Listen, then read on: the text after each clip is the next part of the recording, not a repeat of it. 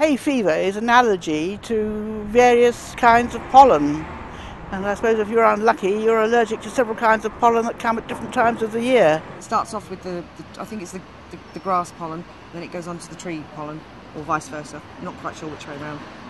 Most people think that grass pollen is the only cause of hay fever, which isn't actually the case. Tree pollens in early spring can be very problematic, as can mold spores, which occur in spring and autumn.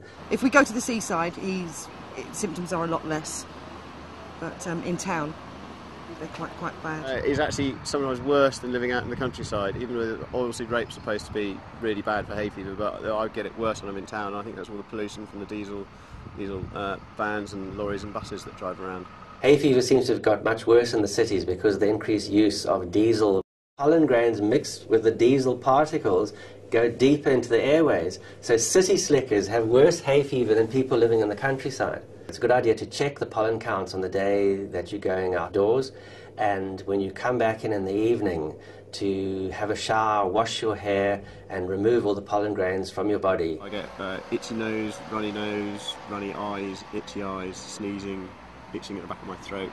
The best thing to do is to try and remain indoors um, in the late morning and early evening. That's when the pollen levels seem to peak. What happens is the grasses pollinate early in the morning, the pollen rises up into the atmosphere and then comes down again in the evening. There are simple measures that you can try to reduce your exposure to pollens. Um, what you can do is put some Vaseline or petroleum jelly in the lower nostrils to try and trap the pollen grains and soothe the nose. Some people wear nasal uh, little filters which they put onto the nose uh, to control their exposure to hay fever. Wraparound sunglasses are useful.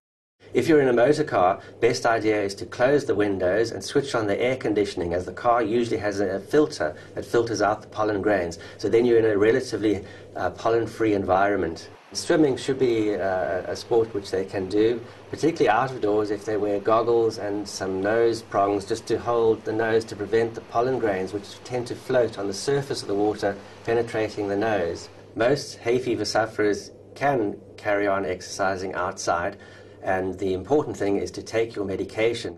For more information, visit www.nhs.uk.